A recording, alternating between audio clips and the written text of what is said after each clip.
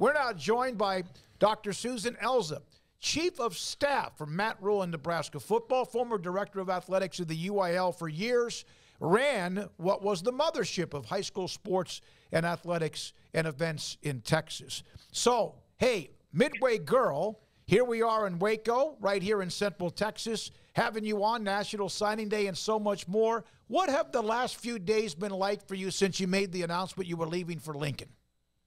Well, first of all, Midway High forever. I cannot not say that. That's part of our school song there. Um, but it's been a total frenzy, um, and and one that I'm so glad to be a part of. Um, you know, it's so bittersweet to to leave that role that I was in. I, I love you know our coaches and our athletes across the state, and uh, but to have that opportunity to go for go work for Coach Rhule and you know help build the program at Nebraska, it just was it was just a chance of a lifetime. And, and, uh, so just a ton of emotions are swirling around and a lot of moving parts right now, but it's been very exciting.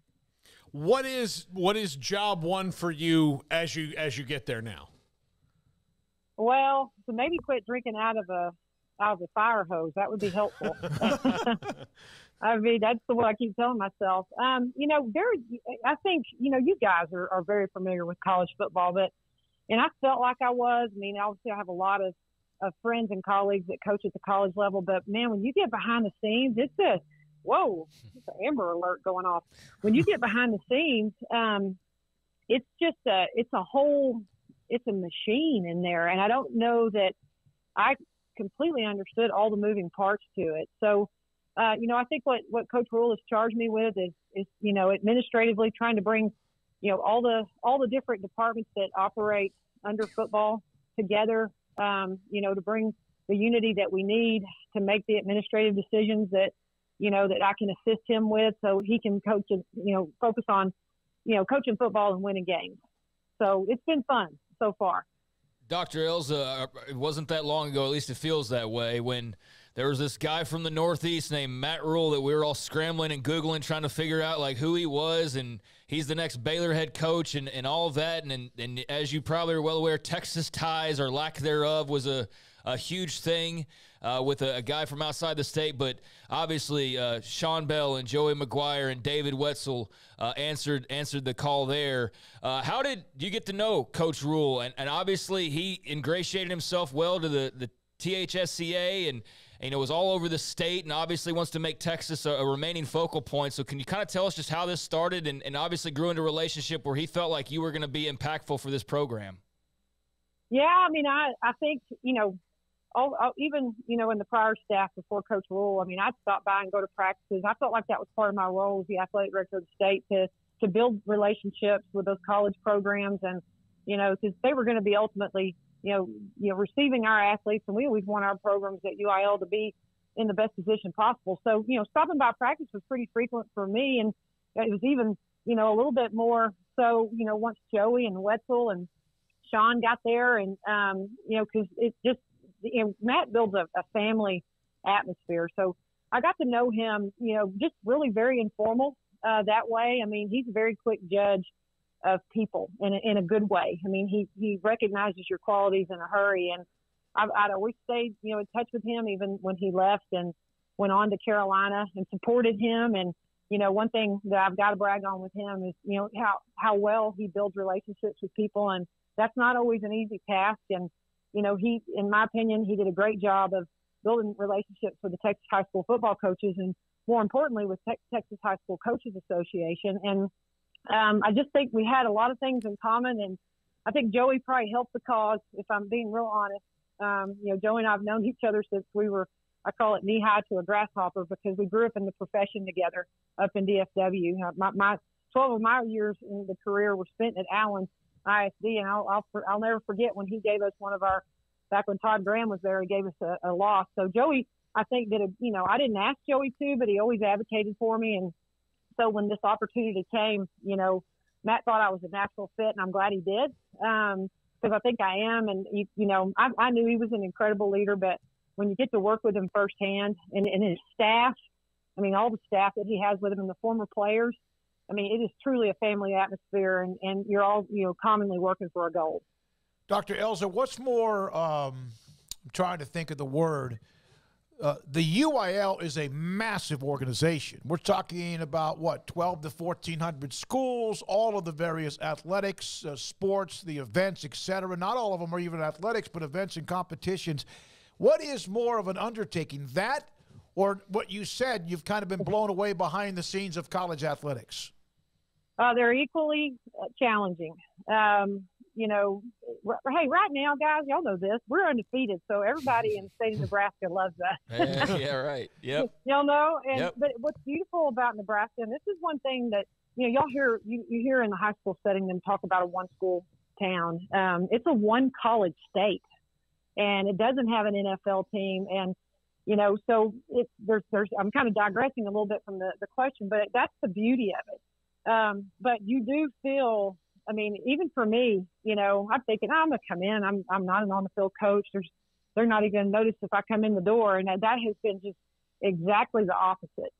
And um, I think that you know this is a funny fact for y'all that I got the other day, and it's, it's ironic that you asked this question, but you know we had we have over a million participants. I think it was right about 1.5, um, you know, on our participation numbers. That's high school alone in our high school sports in UIL.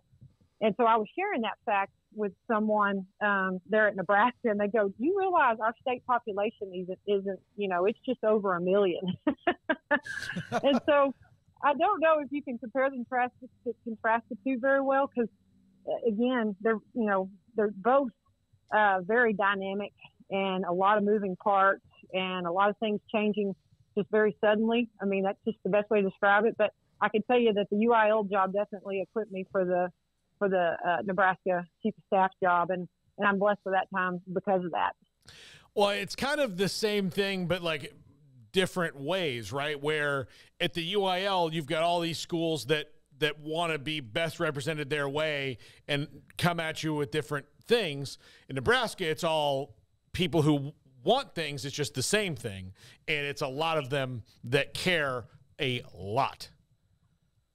I mean, it is, and they have very high expectations, but they're very welcoming. I mean, they're it really has, you know, people we always we always blame claim here in Texas that you know we've got all this Southern hospitality and the other states don't have that, but uh, it may be a Midwestern hospitality, but that, that's I've met and come across some of the nicest people, and you know even when you just go eat at a restaurant there in Lincoln and you, you're wearing the N I mean, they're so proud to, to represent that. So, I mean, it's just like I said, they're they're different. Um, they complement each other. Um, but I mean, it's it's for me one of the things that was so appealing about it was that it, they only have it's a one college state, and um, and and I think you can build that way. And, and again, their expectations are high, and you know, and they should be. Um, I think a lot of people don't understand the resources and the things that are offered to the athletes there uh, especially the football program. And um, I, I, think I think we're sitting on a you know a very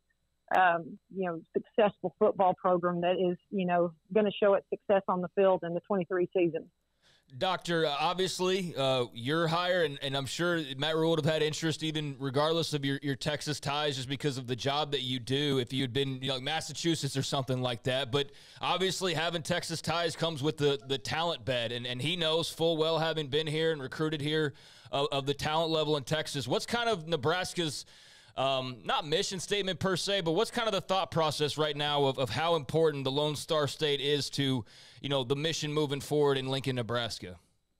When we, we sit together as a staff and we talk, and I've had to miss some of these meetings because I've been back and forth, but that one of my very first ones that I sat in, Bob Wager was in there and Garrett McGuire, and uh, you know that's fun, you know, to be on staff with other people that you know, have lived in Texas. And, and of course, you know, the, some of the guys that, that are, you know, with Matt from, from the Baylor staff, I mean, Coach Satterfield and Ed Foley and mm-hmm. Evan Cooper. I mean, I don't, I, I'm probably missing some of them, but you guys know them and you love them. And uh, they know how big Texas is and, and how, how great our high school football is. So, um, you know, the emphasis is, you know, we, we have certain states that we pluck out and, and we have an emphasis on it. And then we have some states that, um, we know, you know, there's some athletes there that we want. And I mean, it's, it's so uh, meticulous the process that they have in, re- in scouting and recruiting. And uh, the Texas, uh, it's, it's just a proud feeling to, to say how much they targeted it. And, you know, he really wants to have that presence, just even though we're in Nebraska. Um, and I'm I'm very happy and excited about that because you know, on Saturday he's sending me to a Texas High School Coaches Association meeting in Houston uh, to talk about Nebraska football and and I you know I think a lot of people wouldn't think you know you're going to use your chief of staff that way, but that's not that's not how it works for Coach Rhule. He he wants every one of us to contribute and and give back to the program. And if you know if that's the way that I can do it, then I'm more than happy to do it because I, I know you know what a gold mine we have here in Texas. When Nebraska decided to leave for a lot of money and the Big Ten, and then of course they have struggled for many years. They just have been a shell of themselves, and that's what he's trying to recreate along with you and others. But they did get away from Texas, and one of the thoughts was the Big 12, at least they could guarantee they would be playing games wherever it might be in the state of Texas there, there seems to be, as you mentioned, a recommitment. It doesn't mean because you're not a part of a conference that plays here, you can't recruit here. Is that kind of because five, six players, I think, on the current class that just signed are from all throughout the state of Texas. Yeah, they they are, and um, you know, it, it's funny because you know I, I think we all remember, and everybody remembers it in a different way, just the glory days of Nebraska and how many Texas players were on that roster and how you know it just declined steadily. That it wasn't their their focus, it wasn't their emphasis. And y'all know how that goes when you change head coaches. I mean, they they're they're going to identify their talent pool where they identified, and for some reason, you know, Texas fell out of that equation. I, I don't understand it. I, I know y'all probably don't because y'all know how talented our state is, and you, got to think that that had something to do with the decline. Um, and you know, he's another emphasis that he's made. Just I think it's important to say this is they, you know, a lot of the Nebraska kids, um, you know, in all the uh, school communities there were not going um, to to uh, Nebraska University, University of Nebraska, excuse me, and and so it's just been interesting. It's an interesting dynamic, you know, how we're walking through it. But when it comes to the Texas uh, emphasis, I mean, it is it's unbelievable that they they had moved away from it. This is my personal opinion, uh, and there's no doubt that we're going to to benefit from that uh, programmatically over the next you know several years. Yeah, it's funny to think that that somebody would to kind of move away from Texas or, or Florida or, or, wherever. Look, you can go fish in anybody's pond, but if I want a, a, trophy fish, I've got to go to certain spots, right? Right. That's a great. Oh yeah, agree, agree. It's interesting. I I, I just don't. You know, you get inside there, and I mean, I told Coach Rhule, you know, when I very first visited with him, you know, I was trying to do some research, make sure I was you know completely knowledgeable to have that conversation with him and maybe just give you know my, my thoughts on it. And you know, but once you get internal to their um, the resources that the University of Nebraska pours into all of their athletic programs is just incredible. I mean, not just the facilities because those are you know we're going to be moving into a new football facility in June that will be the best in college football, and you know it's and that counts, right? Those things count, but it's all the other moving parts, the support pieces behind it uh, that puts that, that athlete in a position to be successful, and especially you know with our football players. And um, I, it, I just I feel it feels like an untapped resource when you're you know kind of just observing, you know what what happened maybe previously. And I and I don't I don't mean to be judgmental because that's not what I'm being, but that's honestly what it feels like. And, and you know that the ceiling is way higher than what they were performing at. So it's going to be a really exciting season uh, here in 2023. And, and I think we're all ready for it to start, but we're not ready for it to start because we, we've got to get these kids, you know, ready to go, get their minds right, all that good stuff. Charles Breithaupt, Jamey Harrison, among many others that have been a part of the uh, upper echelon uh, and leadership in the UIL. Bill Farney from back in the day as well. Uh, and now your name is a part of that as well, as part of the leg- part of the legacy of that. What does that mean to you? Ah, well, I, you know, I don't know that I look at myself in, in that class that you just called out, but I, I can say that, you know, I just was glad to be a part of it. Um, you know, my number one goal in my career when I started way back in 1993 at Lakeview Centennial as a head softball coach and a, and a PE teacher, uh, I realized really quickly I wanted to be a part of that organization.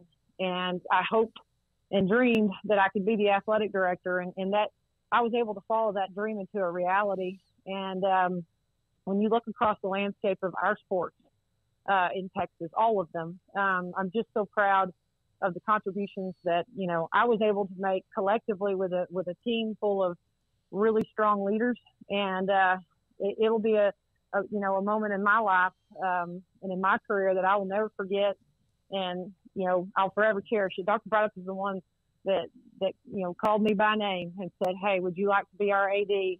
And um, it, it was it was awesome while it lasted, and it was so hard to to make this decision, but man, it's hard. You know, I like to pick my leaders and uh, that I work for, and there's just it was a no brainer to go to work for Matt Rhule. Uh, again, Dr. Elza, we appreciate it. Went to Midway, Midway alum, as you said, in part of the school's song, and then led a massive organization, the UIL, and now you go and try to help uh, rejuvenate. That's that's fair to rejuvenate a program that's been it's been uh, kind of uh, dormant in, in, many ways, and we've seen Matt Rhule turn things around at Temple and Baylor.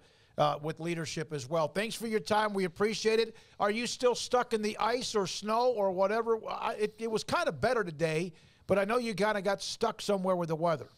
so my my ceremonial last day, the whole reason that I was here, you know, this week was to go to UIL for my last day in the office on January 31st. And guess what? I got iced in to my house just like everybody in the greater Austin area. So I didn't even get to say a proper goodbye to, to all of our staff. I'm hoping to to figure out how to make that work still because the university's still closed tomorrow. So uh, so yes, I'm iced in just like everybody else. You would think we kind of swapped, you know, weather with Nebraska, you know, and I, maybe I'm just getting a taste of it before I leave Texas. Thank you for your time, and hope to see you soon. Good luck with the the, the convention coming up as well that you mentioned, or the speaking engagement you have. Tell Coach Rhule we said a lot, uh, hello, and thanks for your time today. I will. Thank y'all for having me. Dr. Susan Elza, Nebraska's Chief of Staff. Uh,